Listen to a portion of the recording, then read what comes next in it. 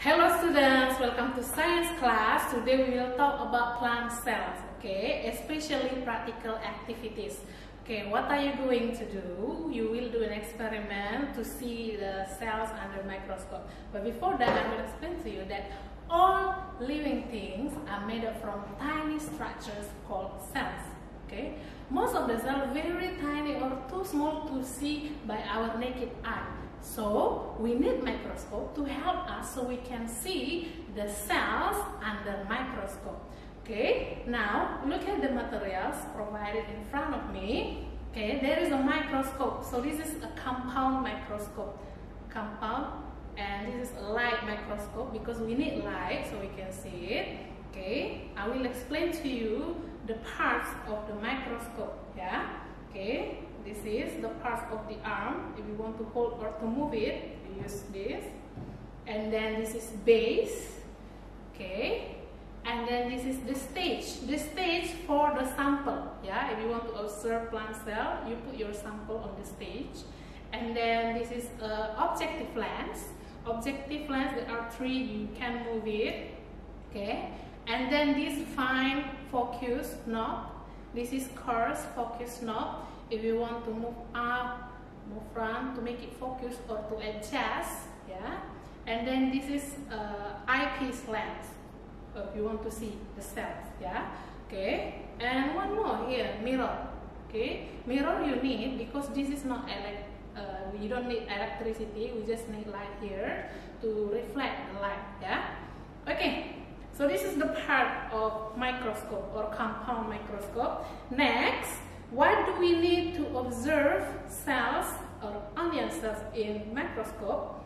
You just take the onion, yeah. This is the microscope. This is a slide, must be clean and dry. Then cover slip also, this one a cover slip.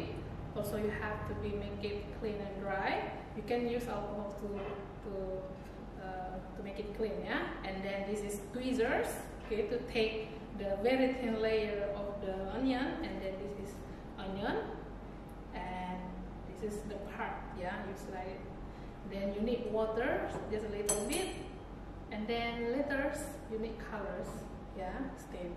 Okay so now let's start yeah?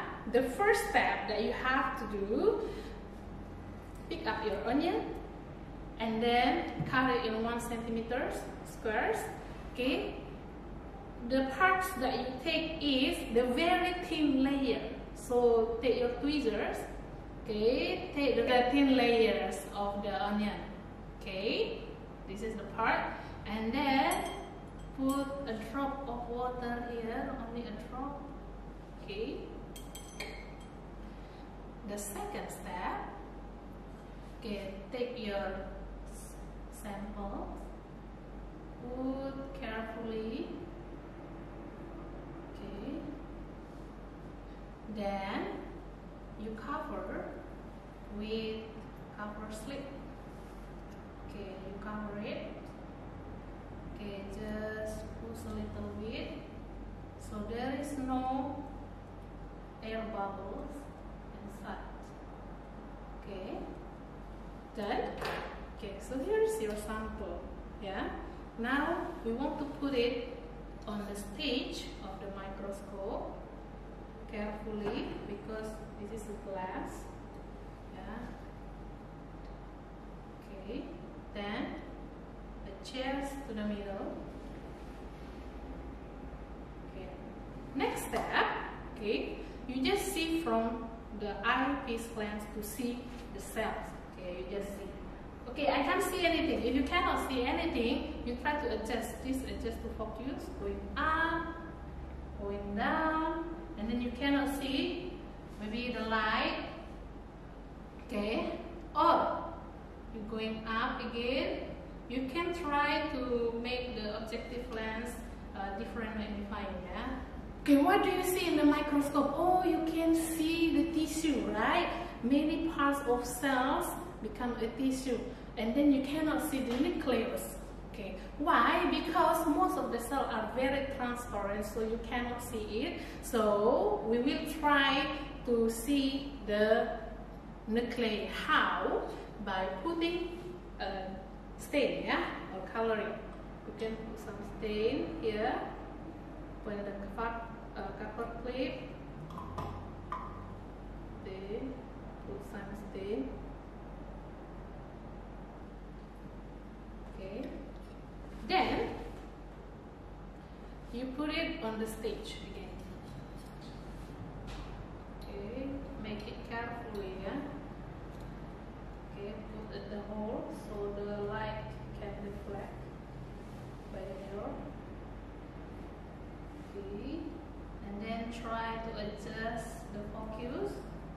Then you can see, yeah. So from the coloring, you can see the nucleus. As we know that cells consist of nucleus. If you want to see more other part mitochondria, cytoplasm, etc., you have to use electron microscope. So this is only a microscope that can see nuclei and cell. Yeah. Okay, guys, that's all the experiment about observing cells under the microscope today. So you can try it at home if you have microscope, but if you don't have it, you can watch this and then you can try next time when you see a microscope and then to uh, you want to observe the cells of onion or plants. Okay, that's all. See you next time. Bye bye.